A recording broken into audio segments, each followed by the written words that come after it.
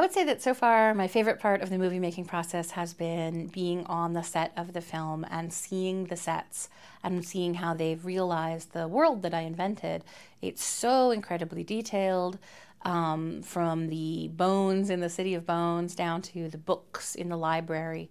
At the Institute, you can pick up any piece of a prop on the set and it's been carefully hand designed by a team of artists. It really makes me feel like I've been transported to the Shadowhunters world, and that's an amazing experience.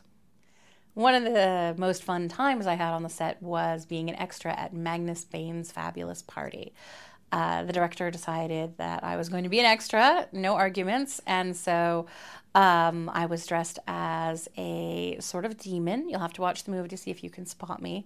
But uh, we were outside in a beautiful courtyard that was full of lights, and there were all sorts of amazing creatures there fairies, goblins, banshees, warlocks, vampires passing around us. So it was actually like being at a fantastic supernatural party. It really was a lot of fun.